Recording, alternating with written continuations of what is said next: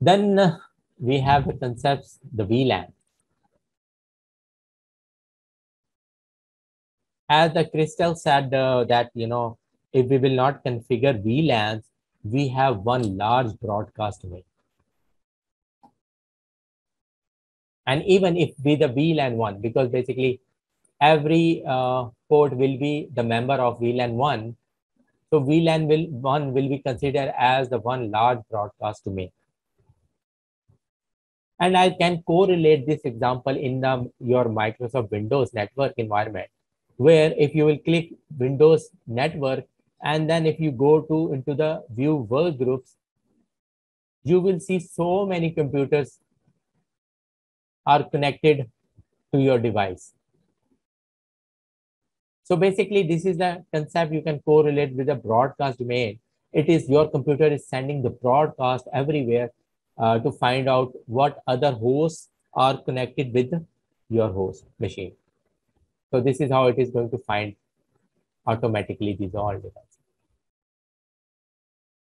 So to cut down this uh, broadcast, uh, we use the concept of the VLAN, which is virtual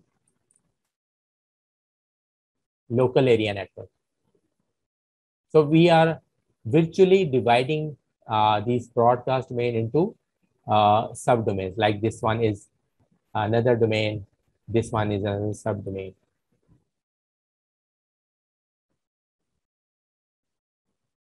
So here is the information about VLAN. A virtual LAN is any broadcast domain that is partitioned and isolated in a computer network at the data link layer. And we know data link layer, we are talking about the layer two, which operates where uh, the switches operates.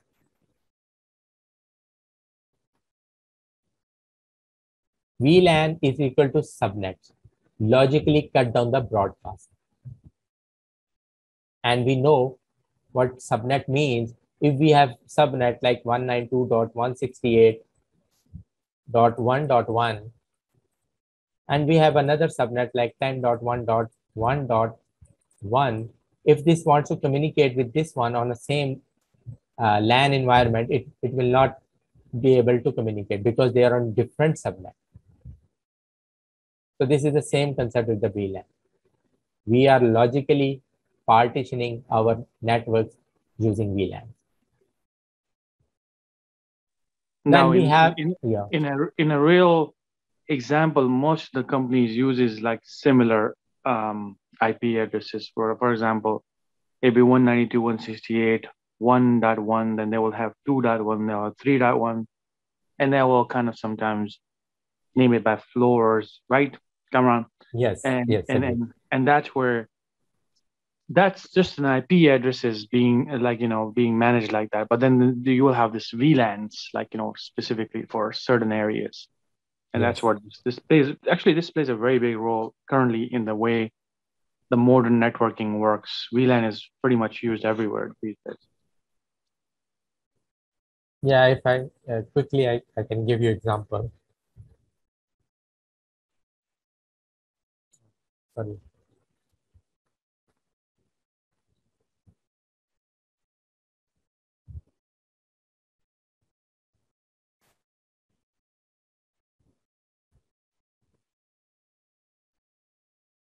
So this switch, let's say uh, we have, uh, this is marketing department. This is sales department. And these are, let's say the IT department. So with the help of VLAN, we can segregate these marketing departments with the sales department and the IT department. So if we put this marketing department under, let's say the VLAN has some kind of ID, let's say we assign VLAN 10 to the marketing department. We assign VLAN 30 to our sales department and 50 to our IT departments. So what will happen? Whatever the devices that are under VLAN 10 they can communicate with each other happily. But if this device want to communicate with this IT machine, it will not be able to because they are on, totally on a different VLANs. So you can see this is a one single broadcast domain. This is one single broadcast domain. This is one single. So we have three broadcast domain here. And they all can communicate in sales and IT can communicate with each other. But if they want to communicate, because since they are on a different VLANs, uh, they will not be able to. So this is logically we are partitioning these things.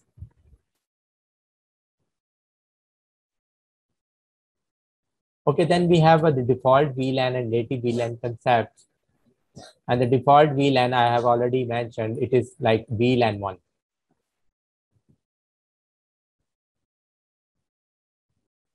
And this is by default on your switches enabled. So this is default VLAN. Native VLAN,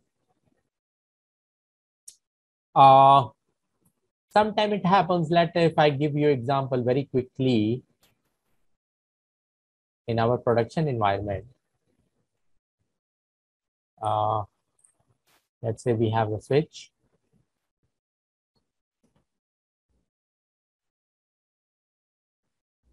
And we have one computer device. And then uh, I don't have, let's make it voice over IP phone.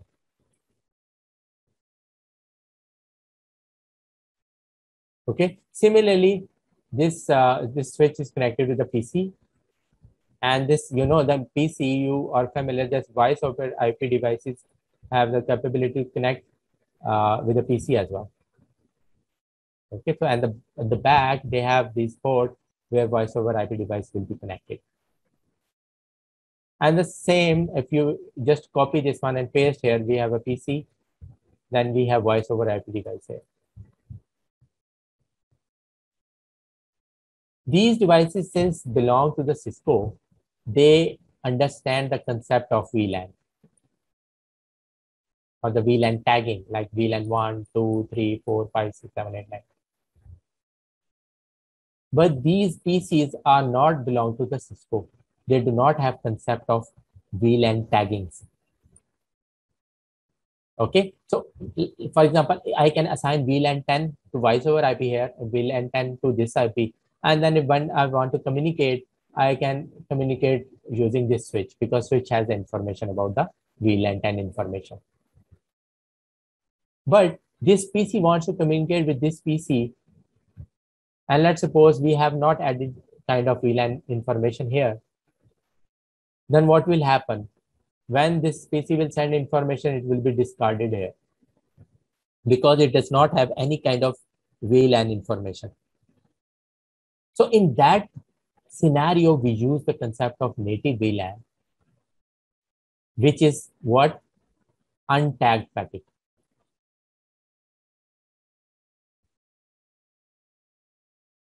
We can define any uh, VLAN as a native VLAN uh, when this PC want to send information to this PC2, when this switch will get this information, which is untagged, it will know that uh, this has no any VLAN tagging information. So I'm going to send to here.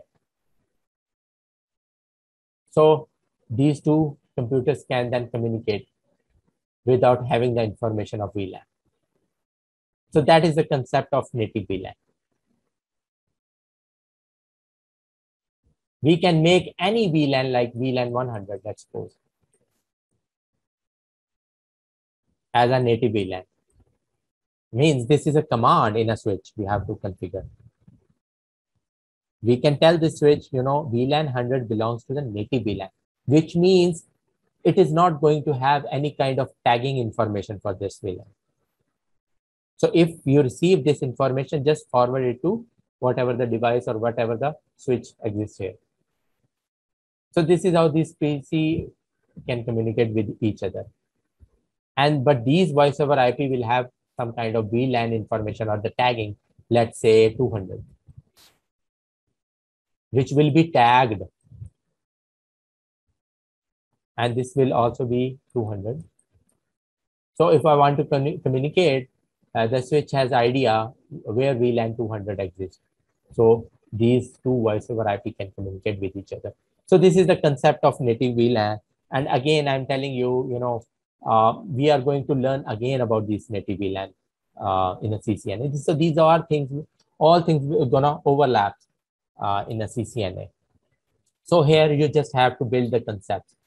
Again, if you didn't get what I'm saying, you can go Google it and just check what VLAN, native VLAN is used for. So uh, this is a real case scenario where we use the VLAN. So I have made one, uh, this is a real lab scenario I have implemented in my uh, production environment. And what it's saying, we have, uh, uh, let's suppose you are working as network admin, three newly installed DSL modems need to be connected for the groups like marketing, sales, and finance. So let's suppose we have DSL1, we have DSL2, and DSL3 modem we have one switch here. We have one group, which is marketing. Then we have one uh, uh, group as a sales. Then we have one group finance. I want to dedicate this modem to finance. I want to dedicate this modem to sales and this to marketing.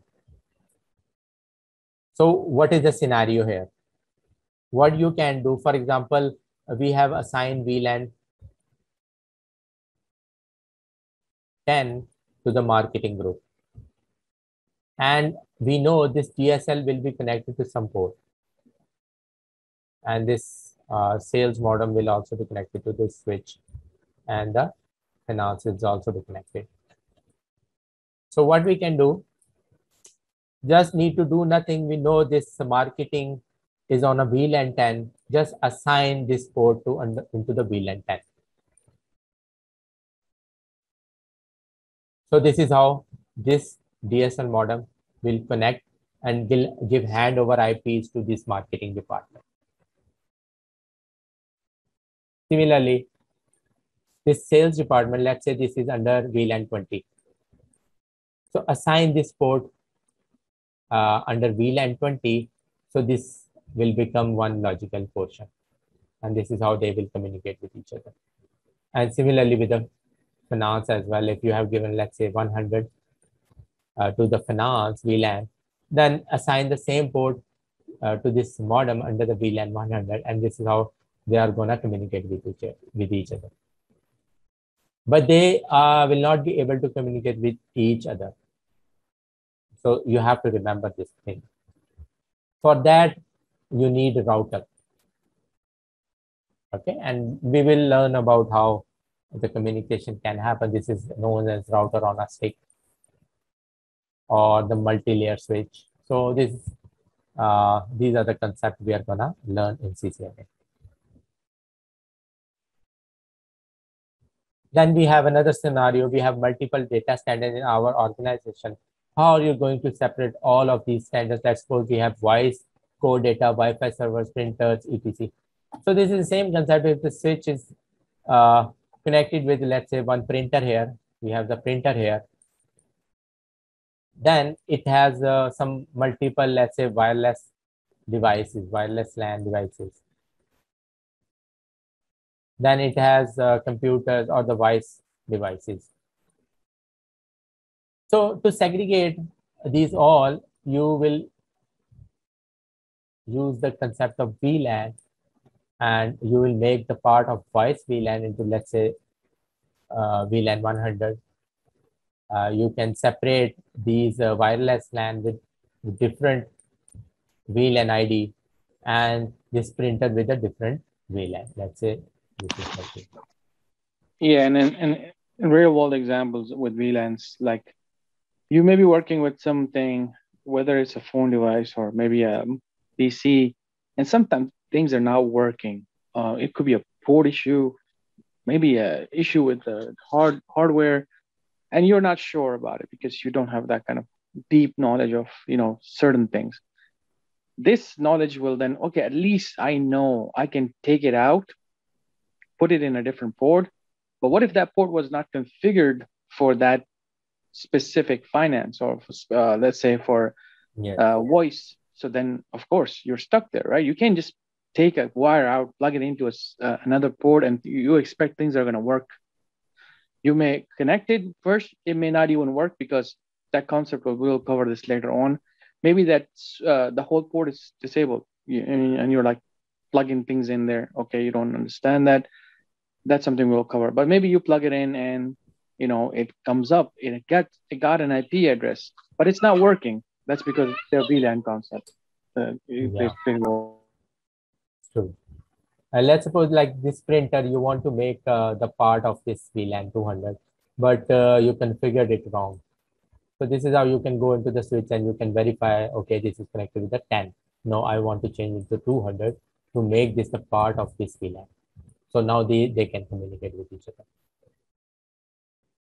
Okay, and uh, last but not least, unused ports and the management ports. Like, you know, uh, let's suppose uh, the switch has uh, 48 ports and let's say only 10 of them are consumed only. The rest of the ports are still open. So basically you are inviting the hacker here